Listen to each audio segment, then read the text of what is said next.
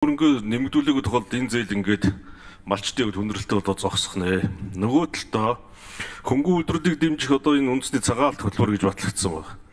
Тэр энэ болд нэг талдаа бид нар шинэ оршигоор малчтын доктортой мал аж ахуй эрхлэлтийг дэмжиж байдаг. Нөгөө талдаа хөнгөн үйлдвэрлэлийг дэмжих бодлого маань хаягдаад байна.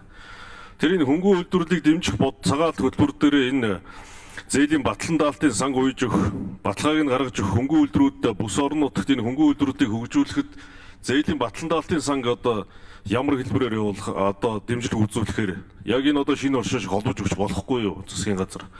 Хоёрдугаар үйлдвэр технологийн паркуудыг байгуулна гэж байгаа. Ажил хэрэг болоо явж байгаа ганцхан баруун бүсд байгаа. Гэтэл зүйн орчнороо энэ дээр ямар нэгэн одоо татврын ялгаатай бодлого байхгүй. А зөвхөн одоо бид нар үйлдвэр технологийн паркийг төсвийн хөрөнгөөр байгуулад өгч. Тэр энэ дээр цаашаа бүс нутг руу үйлдвэрлэлийг хөгжүүлэх дээр татврын ямар бодлого явуулах гэдэг юм бэ? За гурав дахь нь бол бүс нутг одоо ялангуяа баруун бүсийг эрчим хүчний тэргүүлэх чиглэлтэйгээ тодорхойлцсон. Дулааны асуудал хаягдаад байна. Бүс нутагт орон сууцчлуулах, бүс нутгийн ялгаарлах тэр нүүдэл асуудлыг бүгжрд утааг шийдэх чинь гол нь орон сууцчлуулах асуудал байгаа. Тэгэхээр энэ дэд үтсийн асуудал хаягдаад байна гэдэг саналыг одоо олон удаа оруулсан. Тэгээд дулааны асуудал ерөөсөө дэмжигчгүй байна. Энэ дээр одоо эрчим хүчний янаас хариулт авъя.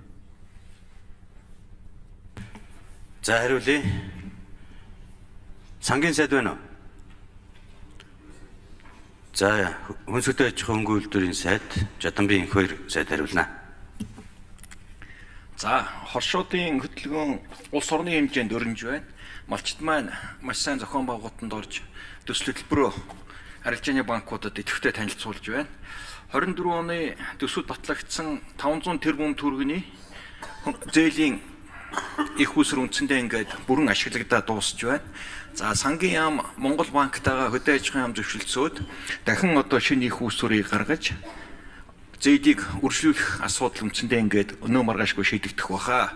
Тэгээд энэ болцоог ашиглаад хоршоод маань төсөлбөрөө арилжааны банкудаа идэвхтэй одоо өгөөд хорч хорчох төр цааш нь нэрчимжүүлээрэ гэдгийг хэлхийг хүсэж байна. За энэтэй холбоотойгоор зээлийн батлан далтын сангийн одоо дөрмийн санг 50 тэрбумаар нэмэгдүүлэх ийм тооцоо гаргаж 2025 оны төсөвт тусахаар өгсөн байгаа. Одоо байгаа их усрээрээ бид он дуустал энэ хэмжээний санхүүжилтийг бол зээлийн батлан даалтыг хийгээ явуучих болцоотой байгаа. За хөнгөн үйлдвэрийн асуудал дээр цагаан алт хөтөлбөр улсын хурлын тогтоолоор батлагдсан. Мөн үүн дээр 300 тэрбум төгрөгийн их усур гарсан. Одоо энэ ажил яг эхлэхээр бэлтгэл ажил хангагдаж байна. 300 тэрбум төгрөгийн хүрээнд ноос, ноолуур, арь ширний салбарт үйлдвэрлэлийн чадварыг нэмэгдүүлэх эргэлтийн хөрөнгө болон одоо хөрөнгө оруулалтанд зориулсан юм зээлүүд явагдана. За нэмж хариулах хүн байна уу? Сангийн яам. Энэ зээлийн батлан даалтын сангийн хөрөнгийн нэмэгдлийн асуудлыг сангийн яам ер нь дангаараа шийддэг. Тэгэхээр энэ дээр сангийн яамнаас хэн хариулах вэ? Монгол улс хаана вэ? Энэ жавхлан сайд хайдсан байгаа. Жавхлан сайдыг дуудаар засгийн газрын үйл ажиллагааны хөтөлбөр явуулж шүү. Яригдэн хилцүүлэгдэж байна. За загжгүй мэд сайхан гişүн тодруулах. Дулааны асуудал дээр хариулт авъя. Хоёрдугаарт зээлийн батлан даалтын санг 50 тэрбум төгрөгөөр нэмэгдүүлнэ гэж төсөлж байна гэж. Энд чинь ерөөсөө 50 тэрбумын зээл гараад зогсноо л гэсэн үг шүү дээ.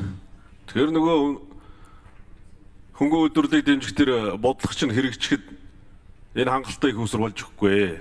500 тэрбумыг эрхчил гаргахаар 300 тэрбумыг гаргахаар төлөвлөсөн гэж байна. Энэ дээр ямар ч зээлийн талаас батлан даалтын сангаас баталгаа алга байна шүү дээ. Тэр наад зээл чинь ингээд цаасан дээр мөрөд болоод үлдэх байхгүй юу? Тэр энэ их усрын талаа шийдэхээс илүүтэй батлан даалтын талаа эхний ээлжинд авч хэрэгжүүлмээр байна. 50 тэрбум гэдэг бол хангалттай биш. Ийм учраас наад зээлүүд чинь их усрууч гарахгүй. Тэр энэ зээлийн батлан даалтын санд талдаа та нар анхаарч өгөөч.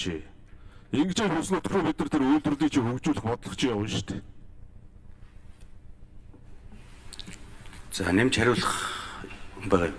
Энэ цаахан гүшнаа чи ийм асуудал үүсчээд байгаа юм байлээ.